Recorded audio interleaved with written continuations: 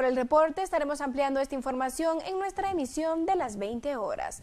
Continuamos y es que el gobierno de Guatemala reforzará la seguridad el 14 de enero próximo con motivo de la visita del vicemandatario estadounidense Joe Biden con motivo de la toma de posición del presidente electo Jimmy Morales.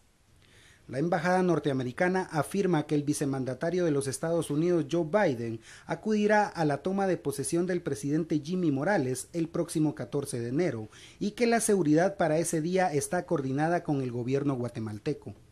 Cualquier visita de, un alto funcionario de los Estados Unidos, estamos trabajando con, eh, con, el gobierno actual, tanto el gobierno actual como el gobierno que viene, um, eh, sobre los procedimientos y, um, eh, estamos esperando con mucha emoción la llegada de nuestro vicepresidente. Yo creo que es, una, es un mensaje muy importante para el país que él quería eh, eh, asistir a la inauguración. Yo creo que es la primera vez que un vicepresidente lo, hace. Según la información de Robinson, la visita será el mismo día para luego regresar a Estados Unidos. Asimismo, esta no sería la primera visita de Biden al país, puesto que ya había pisado suelo guatemalteco en marzo de 2015, donde se reunió con el entonces presidente Otto Pérez Molina.